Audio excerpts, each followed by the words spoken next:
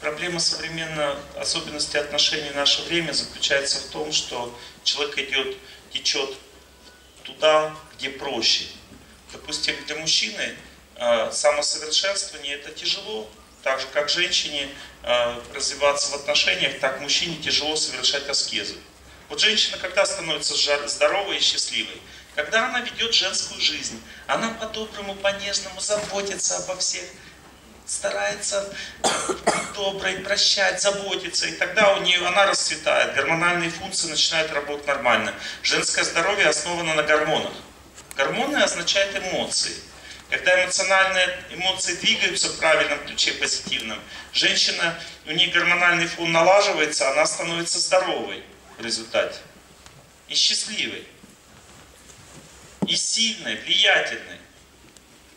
Я тысячу и тысячу раз повторяю, для, женщины нет проблемы сбить с ног мужчину своим взглядом. Нет проблемы.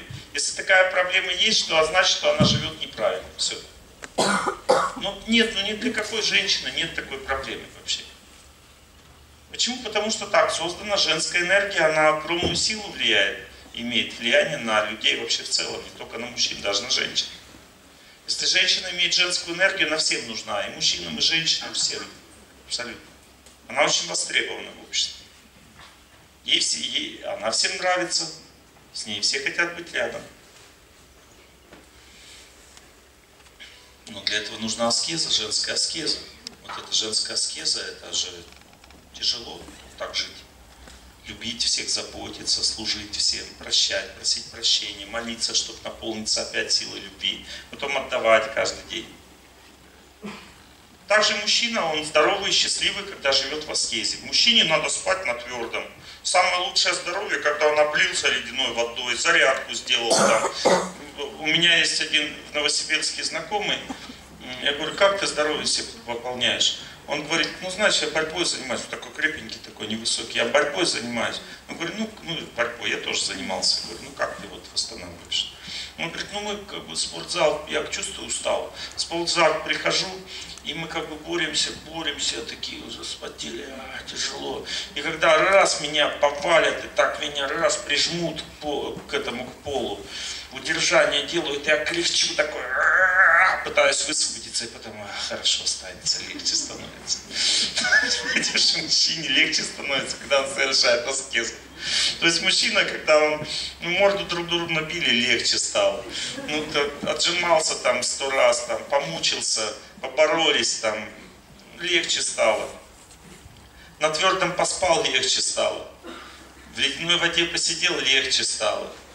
Понимаете, мужчина вот так он восстанавливается. Только мужчины меня поймут сейчас то, что я говорю. Вот мужчины, которые забыли, что они мужчины, они думают, о чем ты, Олег Геннадьевич, говоришь? Я говорю о мужчинах, о мужской жизни, о том, как мужчине стать здоровым. Пробежался 10 километров, выздоровел. Понимаете, мужчине не надо лечиться вообще. Он просто с помощью вот силы внутренней берет и лечится. Он лечится просто вот этим, тем, что он аскезы совершает. Попастился, пару дней вылечился. А вот женщина не должна так жить. Она не должна аскезы совершать. Она должна выздоравливать с помощью любви, отношений.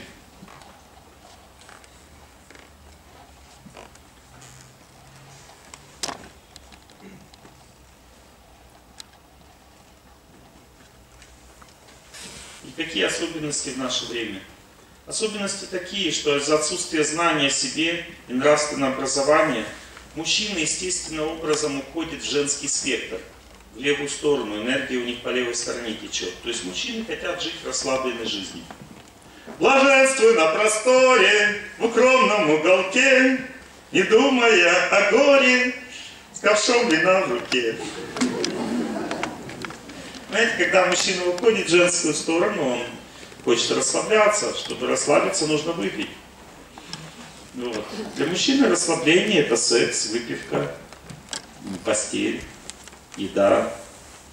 Ну, то есть, когда мужчина стремится ко всему этому, он э, теряет свою силу мужскую, теряет мужской характер, возможность развиваться, здоровье теряет. Все теряет в своей жизни. Все, что у него есть хорошего, все теряет. Современная культура, она даже неправильно говорит о том, что такое мужик. Раньше слово мужик означало, что такое мужик. Ты мужик или не мужик? Вот что означало раньше в древней культуре.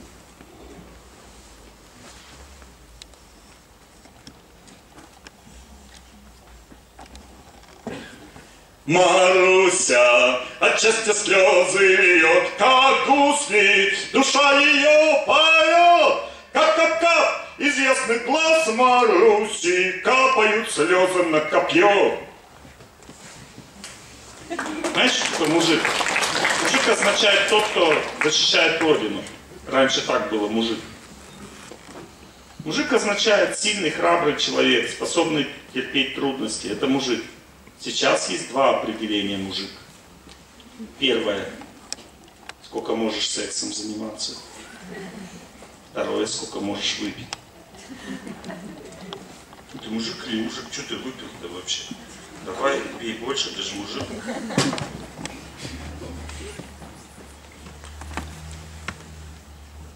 Мужик это тот человек, который терпит женские слезы. Это мужик. Когда женщина в эмоциях вся, он стоит. Спокойно, моя хорошая, спокойно.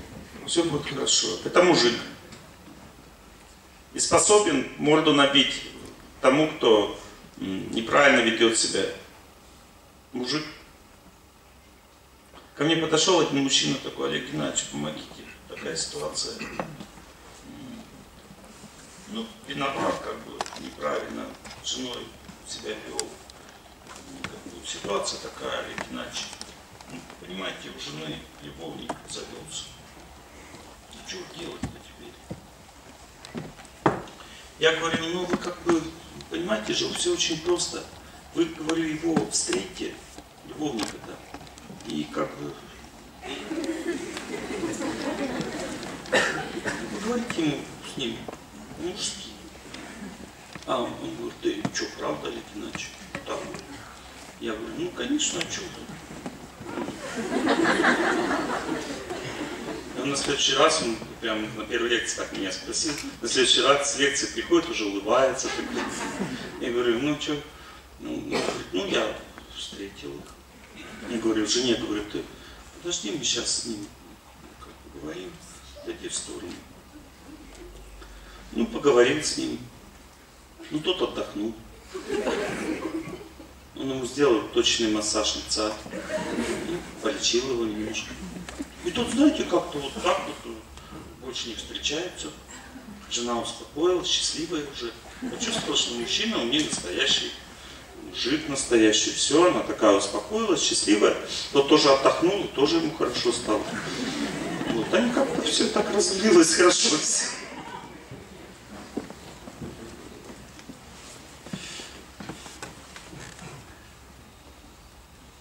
Это мужик, настоящий мужчина, он храбрый, ответственный, хочет сохранить семью, сильный.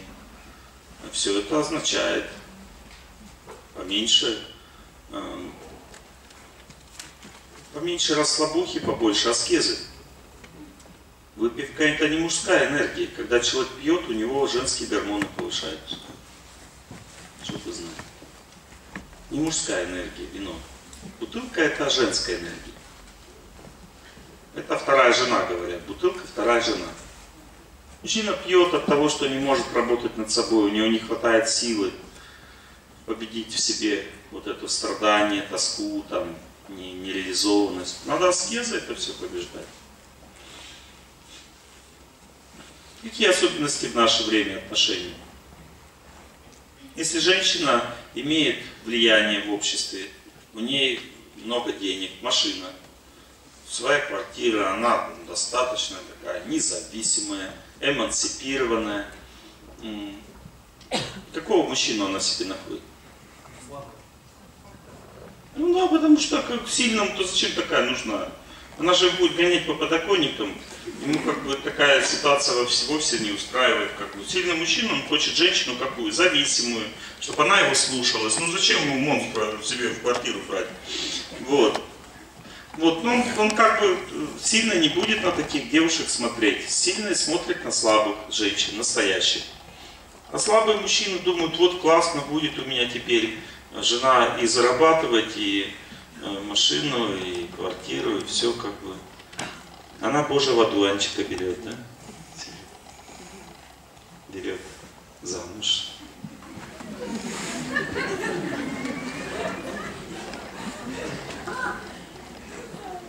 Ну и, соответственно, такая жизнь потом наступает. Но проблема-то заключается в том, что все равно он же станет мужчиной рано или поздно, он же взрослеет. Ну то есть, если когда он станет мужчиной, он уже до свидания скажет, к обеду не жди твой песик. Понимаете? И она останется одна опять. И какой смысл в таком как бы браке?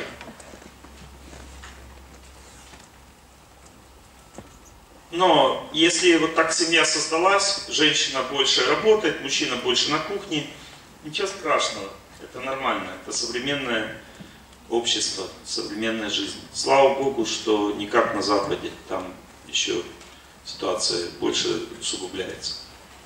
Там настолько сильно меняются, что уже забывают себя. Когда первые нотки первые нотки вот такой культуры этой западной я услышал еще в 10 классе был, там дискотеки были. И как бы я как-то так не мог понять, почему-то поет. Мужчина так поет. Потом я узнал всю правду, как бы, что там происходит. Там, оказывается, совсем уже ситуация далеко зашла. Там, как бы, поэтому и поет. О, мама, мама, мама. Или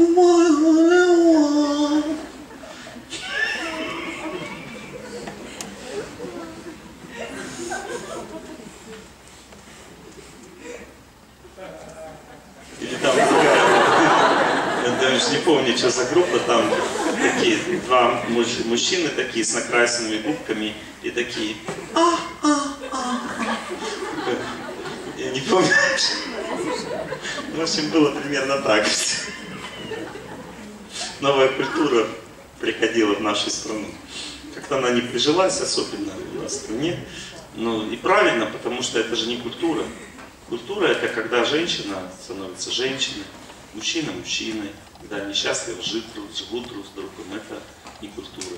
А когда мужчина с мужчиной счастливо живут, и женщина с женщиной, это уже не культура, это просто безысходность. От безысходности люди так живут от того, что у них нет возможности жить правильно, понимаете? Когда психика уже не способна терпеть аскезу. Почему женщина с женщиной, мужчина с мужчиной? Потому что жить мужчине и женщине это аскеза. Женщине с мужчиной тоже аскеза, а мужчине с мужчиной нормально. Понимаете? Женщина с женщиной тоже полегче. Вот оно и современное особенности отношений в наше время. Понимаете, что такие особенности. Если так получилось, что вы больше на кухне, она, жена больше на работе, ничего страшного, не волнуйтесь. Просто начните работать над собой. Когда женская энергия в женскую сторону идет, женщина опять становится женщиной. Мужская в мужскую сторону идет, мужчина становится мужчиной. И вы потихоньку вместе гармонично поменяетесь и встанете по местам. Не надо разбегаться, не надо разводиться, не нужно думать, что неправильно семью создали. Просто живите правильно и все на места встанет. Надо понять одну простую вещь. Мы семью не создаем. У нас есть возможность что-нибудь еще открыть в зале. Вот если что-то закрыто, откройте, пожалуйста, там двери, если закрыты. Откройте, если окна еще и возможность есть.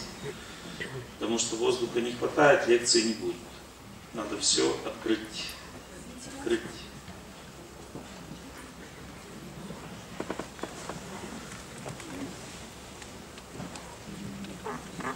Открыли, да, ту дверь? Та дверь открыта? Вот, надо ее открыть совсем. Совсем полностью открыть.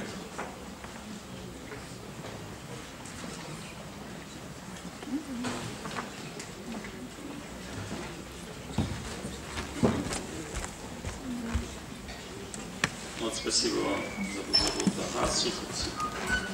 Открывайте, да, все. Уже полегче, да? Воздух пошел. Получше стал. Так? Сейчас почувствуете, уже сейчас пойдет. Открыли, сейчас вентиляция есть. Итак,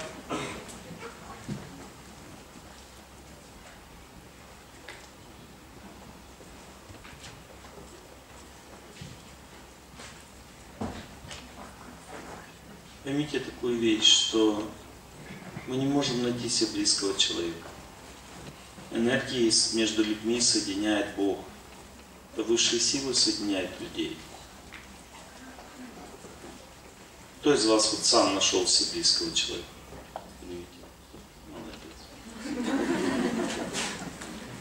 Идите сегодня, найдите 10 рублей Перми.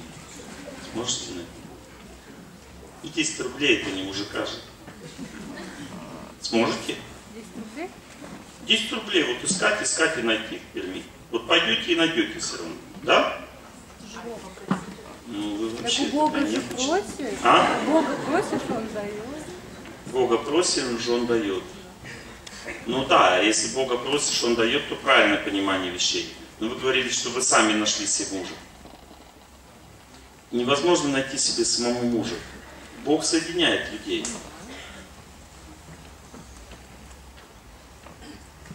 Понимаете, даже на большом расстоянии соединяет.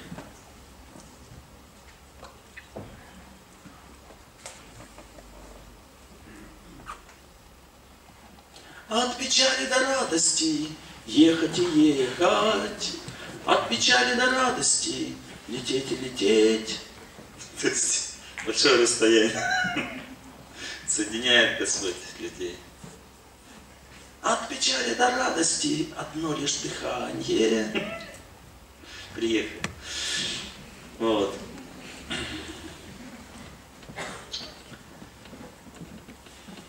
Потом держит людей вместе, не только соединяет, но и держит. Мы вот хотим уйти от близкого человека, а не можем. Почему? Потому что что-то держит, какая-то сила держит. А если человек ушел, будет наказан за это. У женщины появляется, на самом деле это женская энергия держит вместе, семью создает держит. У женщины в сердце есть особый вид красоты, который может быть, а может не быть. Его накрасить невозможно.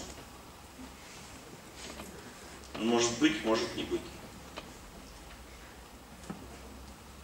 Если женщина кого-то просила, у нее холод сердца. Она хоть может и жить с мужчиной, но уже родственных отношений нет. Она не чувствует близости. Это божественная сила женщины исходит, такой особый вид теплоты. Когда мужчина хочет жениться, он не на крашеных женщин смотрит, а вот женщину, которая есть вот это, у которой есть эта теплота и сердце исходит. Эта теплота дает мужчине чувство, что у него будет семья, будет э, дети, там, будет стабильность. И у женщины он должен вот найти вот одно чувствует, это подсознательная вещь. Мужчин даже многие не осознают, чего они хотят, но когда они чувствуют, у женщины идет такая теплота, а мужчина хочет ее взять замуж. Эта теплота дается Богом, когда женщина ведет правильно себя, никого не бросает, никого не предает. Если мужчина бросает женщину, то Бог, Он забирает у него ту силу, которая дает стабильность женщине, чувство, что она хочет с ним жить. Эта сила у мужчины выглядит как такая ответственность, которая от него исходит. В результате мужчина может сильно быстро влюбиться, быстро всего к тебе кого-то найти. Но женщина, когда не чувствует в нем вот этой силы, она потом разбирается в этом вопросе и уходит от него. То есть он не может сохранить себе семью, потому что он бросил жену. И у каждого это происходит, у женщины по-своему, у нее нет теплоты, у мужчины нет вот этой вот ответственности, силы.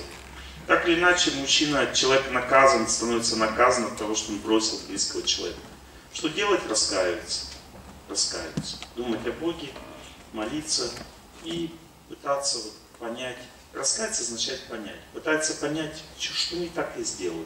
Почему так произошло? Когда человек, первая стадия – это понимание. Человек вдруг понимает, что не так он сделал. Это понимание, знание приходит в сердце. Потом раскаяние дальше идет, и человек начинает чувствовать, что он не хочет больше так делать. Он осознает тяжесть своей вины.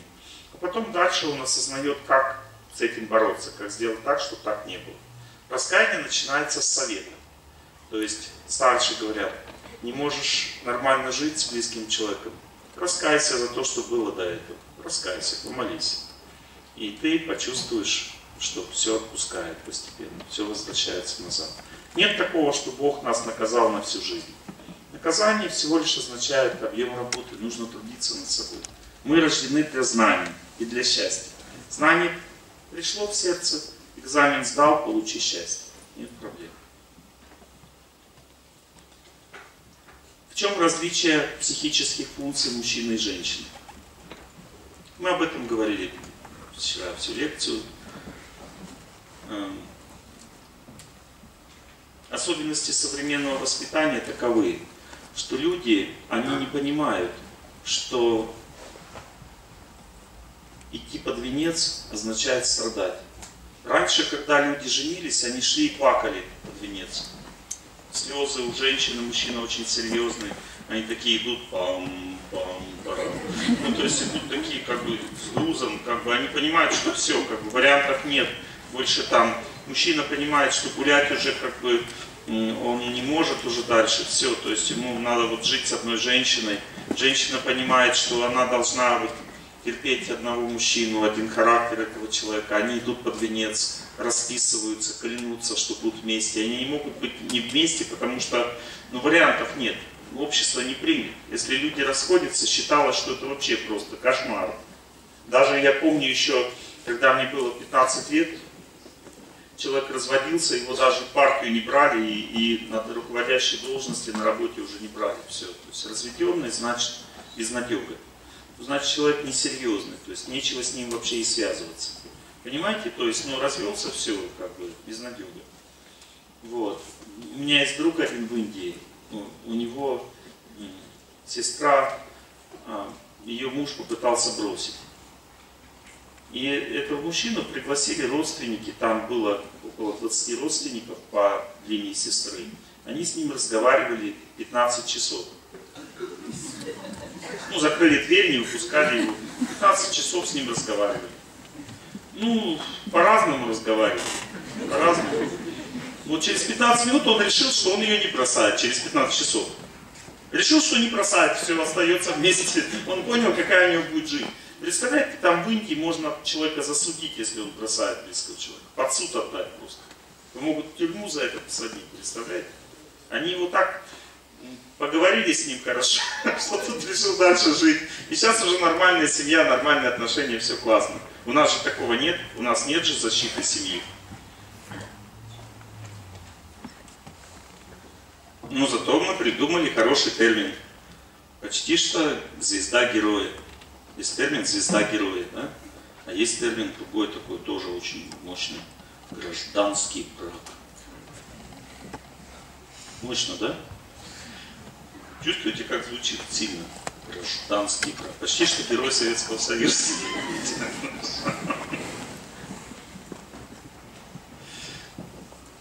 Вот на английском это по-другому. Я как бы перевод нашел, там по-другому это звучит. По-русски сказать снюхались. Не живут вместе, снюхались.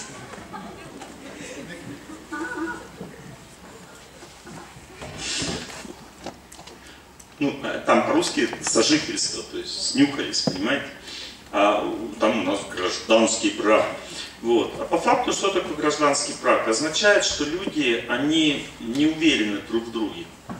Точнее, они говорят, мы же верим друг другу, доверяем, что идти расписываться. Но если вы доверяете друг другу, так идите и распишитесь. Чем проблема? Если вы не хотите, значит вы не доверяете. А если, причем они как говорят, это не муж у меня, я живу не с мужем, а ну, живу с другом или с партнером. С партнером живу. Сожитель, ну сожитель как-то так, не очень. С партнером мы зачали ребенка. Вот. Ну, кто он тогда стал, этот ребенок? Помощник партнера, что ли? Как назвать? Младший партнер.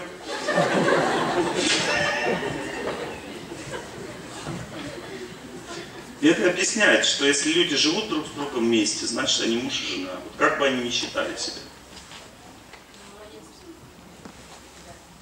Да? Веды говорят муж и жена. Вот что бы они ни придумывали, они муж и жена. Потому что есть разные виды брака. Есть самый высший вид проявления брака, это освященный брак. Есть брак, закрепленный обществом и родственниками. Это второй вид брака. Это роспись по-русски. Там в древней культуре все это было. Если люди не хотят освященный брак делать, у них не хватает для этого как бы, возможности внутренних, то они делают просто брак закрепленные родственниками и государством. И в этом случае, когда они разводятся, им родственники говорят, вы же женаты, вы что вытворяете вообще, оставайтесь вместе. Родственники пытаются сохранить семью. И государство тоже там коцает там, так, полквартиры отдавай туда, пол бизнеса сюда. Ну, не хочу. Отдавай, как такой. Не будешь разводиться. Вот. Ну, поэтому люди не хотят ответственности никакой. Они поэтому, как бы, просто живут друг с другом, не понимая, что они все равно муж и жена. По факту этот брак менее защищенный получается. В нем нет защиты, потому что в каждой семье наступает такой период, это исследовано психологами семейными серьезно. Описана вот такая буква В. Буква В означает, что сначала счастье, медовый месяц, потом постепенно труднее отношения доходят вот до этой крайней точки нижней, а потом повышаются, если люди остаются вместе. И вот в этот момент нужно защитить семью. Нужно, чтобы люди начали служить, пока они пользуются друг другом. Ведь понять, что служить друг другу очень сложно. Вот вы теоретически сейчас это понимаете, идете домой, опять будете конючить свое. Понимаете, очень трудно служить, очень трудно отдавать себя, очень трудно терпеть. Это очень все трудно, но это и есть совместная жизнь, которая дает победу. Но когда человек этого не понимает, он потер, ну, побалдел, побалдел человек, оп, балдежа нет. Все, вот до этой нижней точки буквы В пришло, это где-то нужно в среднем где-то 7, 8, 9 лет, вот этой точки такой-то, дальше, что? А ты такой холодный, айсберг в океан, и все твои печали я черною водой. Вот, ну то есть, как бы, нет уже близости, нет отношений. Потому что все кончилось. Израсходовали. Закончилась энергия притяжения. Теперь нужно трудиться для того, чтобы она была. Нужно служить друг другу, терпеть, принимать, заботиться. Вчера одна женщина ко мне подошла, говорит, Олег Геннадьевич, вы дали мне совет, когда я в Екатеринбург ездила к вам на лекцию, вы дали мне такой совет, мне так тяжело было. Я не могла принять этот совет. Мы разводились с мужем, я не могла принять этот совет. Недолго, времени много понадобилось, чтобы его принять. А когда я приняла, наша семья осталась вместе. Спасибо вам большое. Сохранили нам семью. То есть она победила свою судьбу, понимаете, она старалась. Она попыталась так сделать, приложила силы внутренние и победила свою судьбу. Некоторые думают, да невозможно сохранить. А невозможно нашу семью сохранить. У нас, Олег Геннадьевич, особый случай. Да нет никакого особого случая. Все то же самое, что у всех остальных. Просто надо делать. Надо только выучиться ждать, Надо быть спокойным и упрямым, Чтоб порой от жизни получать Радости скупые телеграммы. То есть надо ждать. Надежда, мой компас земной. Надо ждать.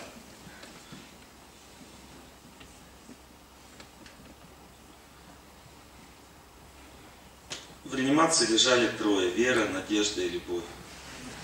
Надежда умерла последней.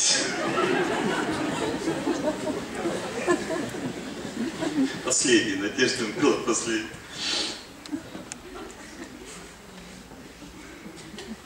Сначала эти люди теряют веру друг в друга. Потом вера потеряна, теряется любовь. Пока надежда есть, живут. Надежды нет, все. До свидания. Надежда, мой голос Удача награда за смелость.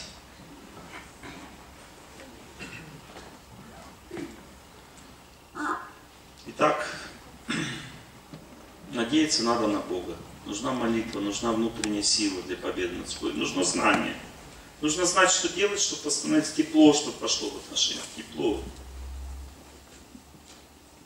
Нужно иметь также старших, очень хорошо заниматься духовной практикой, чтобы иметь старших. У нас с женой был очень трудный как бы, момент жизни. Мы пришли вместе к старшим. Наставник сидел вместе с женой. Они были так рады нас видеть. Когда мы рассказывали трудности свои в отношениях, я рассказал, потом она рассказала.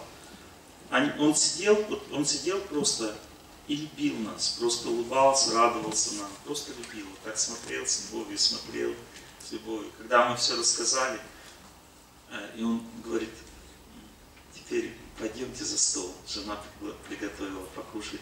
Мы так рады вас видеть. Давайте покушаем вместе. Мы думали, что он отвечать на вопросы будет. Просто поулыбался, пригласил нас за, что, за стол. Мы поели такие и помирились. И все, идем уже счастливые такие назад. Все, нам не надо было ничего рассказывать. Просто любовь, нужна любовь. Все, немножко любви и все, и люди мирятся. Все. Нужны старшие, которые подарят любовь.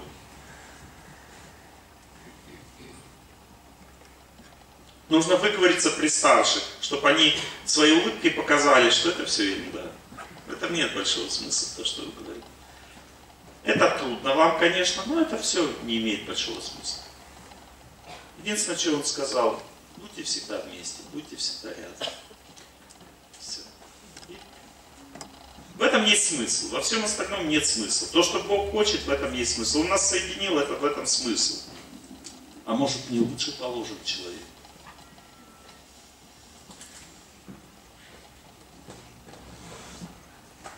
Одном монастыре люди взбунтовались, и хватало масла в пище в ведическом монастыре. Они доказывали, что пища должна быть маслянистой, что плохо для здоровья.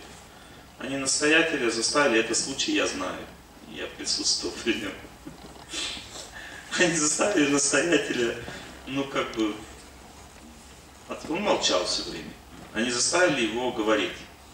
И он такой сел перед ними – они говорят, ну скажи, когда будет масле, масло в пище? Будет масло у нас или нет в нашем монастыре? Он посмотрел на них. Но если вы хотите масло, то масло обязательно будет. Горящими котлами.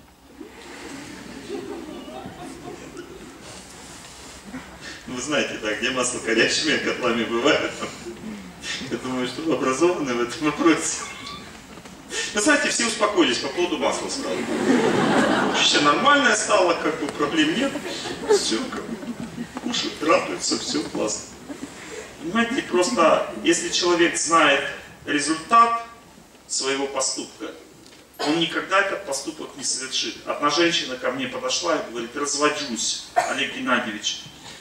Мне не надо ваше нравоучение, там, говорит, что это неправильно, там, я не могу просто с этим человеком жить. Я уже испробовала все, и молитву, и то, и все. Я пробовала по-всякому, то есть с ним жить невозможно. Он не, не хороший человек. Когда я встречу другого? Я посмотрел по его судьбе, говорю, через 6 лет. Она такая, что 6 лет одна?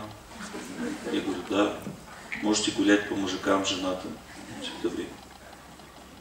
Такая, нет, я лучше остаюсь. Понимаете, проблема заключается в том, что мы не знаем вообще, что есть другие варианты. У нас в сердце нет таких вариантов. Мы не знаем, что у каждого человека в семье бывает тяжелый период. И в это время люди имеют право жить раздельно. Не значит, что развожусь. Не надо не гулять друг от друга. И надо общаться только через сердце. Понимаете, когда карма так действует, что люди разговаривать не могут друг с другом. Можно пожить отдельно в одной квартире даже. Ну, просто договориться, мы не общаемся неделю, допустим. И пожить отдельно в одной квартире, молиться за отношения, желать всем счастья, думать о том, чтобы отношения восстановились, просить Бога. И постепенно вы сначала почувствуете, что это хороший человек. Потом почувствуете и вспомните первую встречу. Потом почувствуете, что, что хорошего между вами было. И потом раз, раз, раз, постепенно все восстановится. Судьба наваливается иногда, общаться не, нет возможности. Ну и не общайтесь. Зачем мучить друг друга? Ну уедьте на неделю, там, до недельку до второго, ну уезжайте в Комарова там. Или еще куда-нибудь, я не знаю, ну что-то сделайте, чтобы не мучить друг друга. И в сердце в своем останавливать отношения. Это не предательство. Некоторые думают, вот я все, я живу у мамы, теперь все уже, все. Я живу у мамы, ничего не все. Все нормально. Люди могут вместе жить, семейные, могут чуть-чуть раздельно. Не надо изменять просто и все. Одна женщина ко мне подходит, я говорю, от мужа ушла, Олег Геннадьевич. Я говорю, вы уверены? Я смотрю, у них связь остается. Я говорю, вы уверены, что вы ушли? Она говорит, да, но мы живем раздельно уже три года. Я говорю, у вас кто-то есть? Нет. А у него кто-то есть? Нет. Я говорю, он вас ждет? Она, как вы узнали? Я говорю, так я вижу между вами связь. Бог не разорвал в сердцах ваши отношения, Он вас тянет друг к другу. Она говорит, ну да, чувствую, что тянет. Я, я говорю, ну и что? Она такая, в смысле? Я назад не хочу. Я говорю, а куда вы хотите? Обратной дороги нет. Позади Москва, отступать некуда. Она, в смысле? Я говорю, ну как в смысле? Ну дальше-то вы в пропасть идете, говорю. Вот Бог вас держит вместе, значит у вас вариантов больше нет. Вам надо назад. Я говорю, вы семью как создавали? Говорит, ну долго создавали. Долго одна была, потом долго создавали. Теперь вот разошлись, разошлись и не можем себе никого найти. Он меня ждет. Я говорю, возвращайтесь.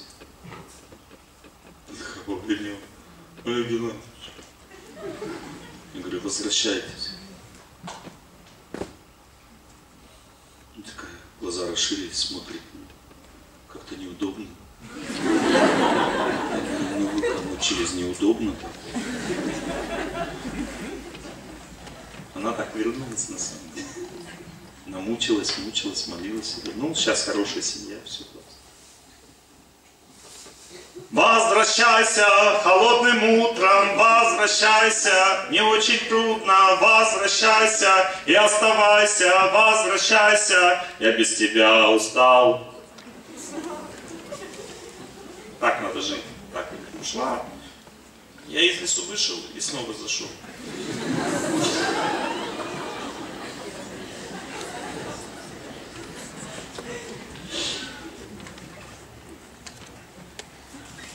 Да.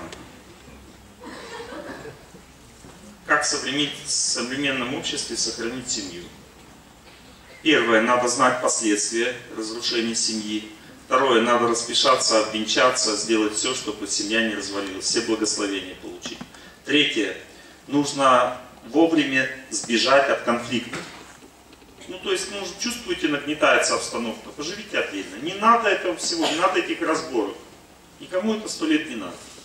Все это идет просто от тяжелой судьбы. Молитесь в сердце, понимаете, все трудности жизни лучше преодолевать на тонком плане, а не грубом. Просто помолитесь, отдельно поживите, помолитесь, потом опять притяжение пойдет, встречайтесь, общайтесь. Не надо истерию развивать в отношениях.